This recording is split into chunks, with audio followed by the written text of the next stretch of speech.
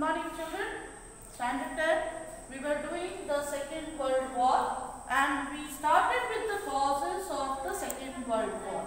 The first cause, dissatisfaction with the Treaty of Versailles as it was explained to you before also. The Treaty of Versailles was forced on Germany. It was harsh and humiliating treaty. So Germany became revengeful.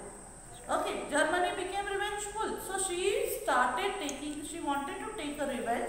So that became one of the cause for the Second World War. Next thing, rise of Nazism, rise of fascism. These are the two dictator, dictatorship.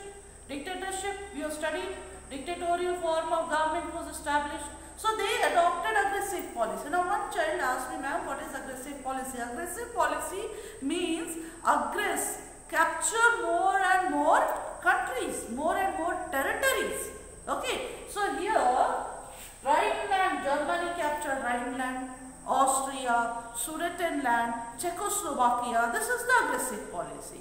The same manner, Italy also adopted aggressive policy and captured Abyssinia and Albania. The next you have, next the fourth cause which we are going to do, very very important, please learn it.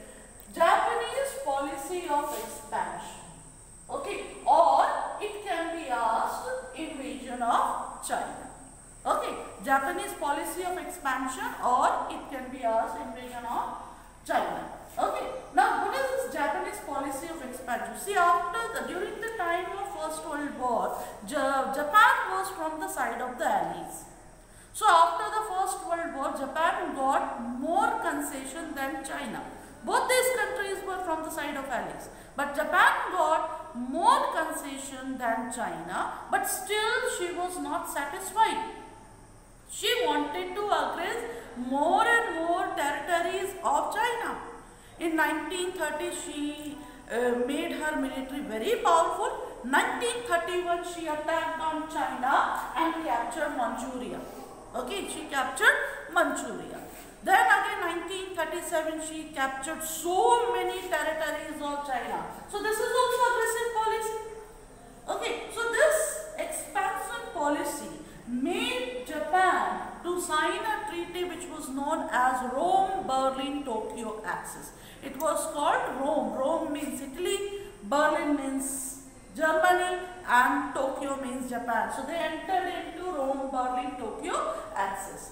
So here I explained to you though after the First World War Japan got more concession than China. She wanted to aggress more and more territories. So 1931 she attacked on China and captured Manchuria. Okay and in again 1937 she captured more and more territories of China she entered into a treaty which was known as Rome-Berlin-Tokyo Axis.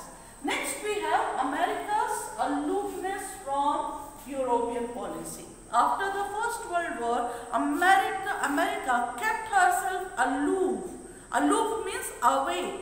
It kept herself aloof from European politics. It did not take part in the League of Nations. So because America was not a part of League of Nations, no country, even Britain, okay, who was a European country, so Britain could not control France humiliating treaty of humiliating Germany. Okay, Britain alone could not do.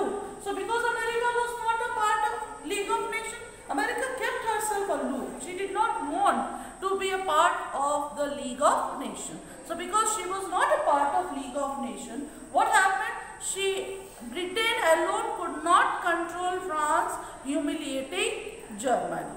So here again Germany could not tolerate the humiliation and she made the world plunge into another world war which was known as Second World War. So I hope you have understood Japanese policy of expansion and America's aloofness from European policy.